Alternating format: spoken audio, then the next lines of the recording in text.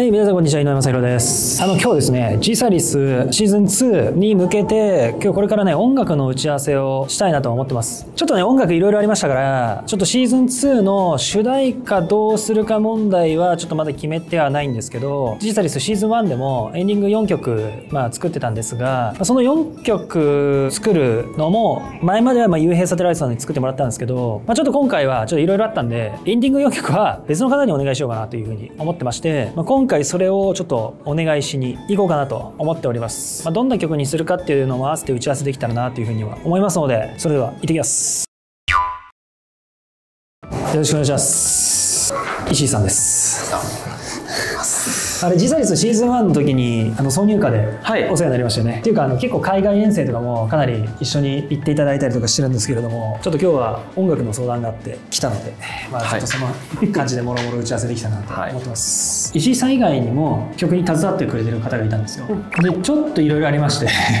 なんかちらほら聞いてはちょっと、はい、ちらほらはい「ユーヘイザタライト」ってグループにはオープニングとエンディングを4曲作ってもらってたんですけれども、はい、エンディングの方をそのまま何もなければ引き続きちょっとお願いしようと思ってたんですけど、はい、まあ、何かあっちゃったんで。なるほど、はい、今4曲が浮いちゃ浮いちゃったんですよ。状ことです、はい、そうですそうです、まあ、なのでちょっとここはこれ石井さんにお願いするしかないなっていうので。僕にとってはね願ったりいやマジっすか。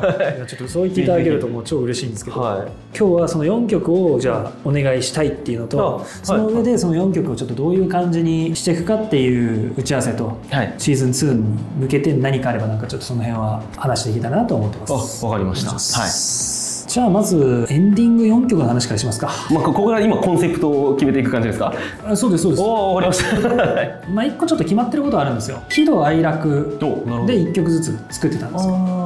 はい、なので、まあ、今回も喜怒哀楽をテーマにして1曲ずつ作りたいなとは思ってるんですけどこれなんでかっていうと、はい、エンディング4曲ってなかなか聞いたことないじゃないですか。そうです、ね、1曲じゃないですか普通、うん、そうですね。はいでも、まあ、それぞれキャラクターソングみたいな形で、実際に出てる出演者が歌っていくみたいなのがあっていいのかなっていうふうには思ってて、はい、その心情に合わせて曲ちょっと変えていこうかなと思うんですよ。例えば、ドラマの途中にエンディングテーマ流れ始めるみたいな。あ、はいはいはい、完全に切り離されてないみたいなのあるじゃないですか、はい、例えばシリアスなシーンしてんのに「うん、いけいけゴーゴー」みたいな曲かかったらおかしいじゃないですか、はい、そうですね、はい、だからその時は喜怒哀楽でいうと例えばどっか愛なのか分かんないですけどそういう感じのテイストになるとか、はい、すごいハッピーなシーンだったりとかすると、まあ、それに合わせてエンディングもこっちとかそういうふうに使い分けできるようになるほどなるほど、まあ、していきたいっていう。基本は映像からエンディングにこう流れるようなスタイルでいく予定ってことですね。あのなんでかっていうと普通のアニメとかドラマだと、まあ、24分ぐらい尺があるじゃないですか、はい、十分に尺内に表現できると、エンディングちょっと長めに入れますかとか、うんうん、それ尺調整ができるんですけど、はい、時差リス10分ぐらいじゃないですか毎回。そうです、ね、10分ないし、まあ、13分、うんうん、まあ、長くて15分ぐらいなんですけどそれを1話としてるんで今回やっぱストーリーをギュッとしちゃうんでちょっとでも尺使いたいんですよ。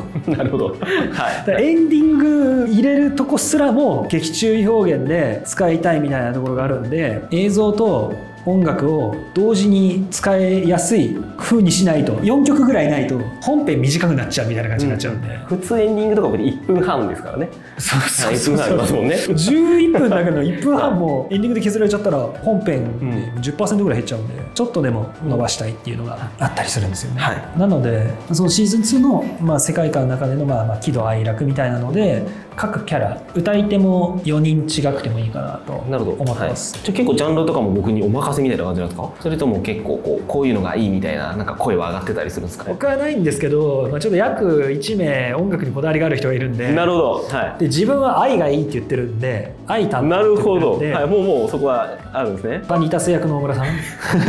だからもうなんかねなんとなく分かってました。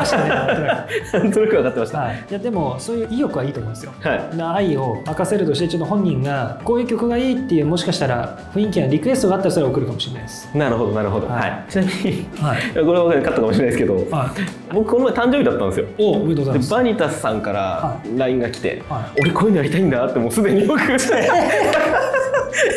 誕生日に？よろしくみたいなの来ました。ダンスグループみたいなのやりたいって連絡来ましたよ。ダンスグループ？戦ティカのメンバーでだから全員ですよ。メンバーで？メンバーでダンスボーカルユニットを作りたいそうです。稲井さんも歌うという。来てない来てない。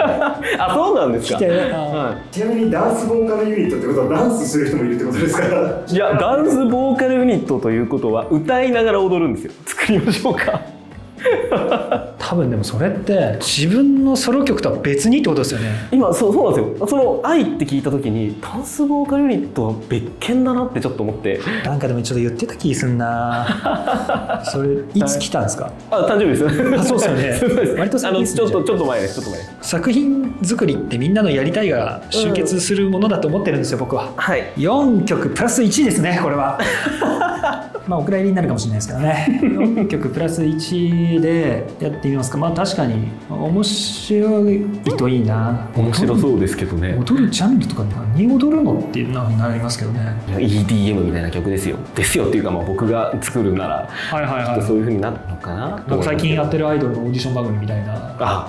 はいはいはい。ああいう系の。りますね。ありますね。作れと言われれば作りますよ。許容の範囲がすごいですよね じゃあ5曲。お。じゃあ5曲で。5曲ですよね、シーズン1の時に作ってくれた挿入歌は引き続き使っていきたいなというふうに思うので、なるほど。まあ、あれを変えるっていうのはシーズン2時点ではいいのかなとは思ってるんで、はい。その5曲がいいですかね。いやー大村プロデューサー面白いと思いますね。仮にですけどじゃあまあちょっと一回4人想定で4人想定の作っ曲てみて、うん。そこからキャストは考えますあわかりました、まず楽曲選考で。曲選考でいきます。曲選考で。で。やらないって言った人はもうやらないで。やるって言った人を入れていくパタあーンーなるほど。でもしかしたらスーツが踊ってるかもしれないです。あそれもでもかっこいいですね。夏地獄？イベント行った時に。いやもうもしかしたらだからもう曲とかは声だけ当ててもらってダンスはもう全部フル CG こういう冗談から生まれちゃうからな地味に。マジで映像かっこいいですね。あ本当ですか？うん、あめちゃめちゃかっこいいです。ちょっと嬉しいです。今2つ使っててソフトを。ちょっとゲームエンジンも今回から。えー、ゲームエンジン使って動画を作るんですか？草むらとかのシーンをゲームエンジンでちょっとえー、そうなんですね。使ってます。おすごい。今 CG 担当もだんだん増えてきて各人に得意不得意のソフトがあるっていう。あ この人はこのソフトを勉強してみたいな。そんな感じで今やってます。はい。でその終わり際のエンディングも入ってるってことですね。だからちょっとエンディングを先行して作ってくれた方がもしかしたらいいかもしれないですね。そうですね、はい。はい。2月いっぱいとかでも大丈夫ですか？結構タイトですか？2月いっぱいだったらまあなんとか5曲ですよね。まあなんとか多分デモを上げられると思います。ありがとうございます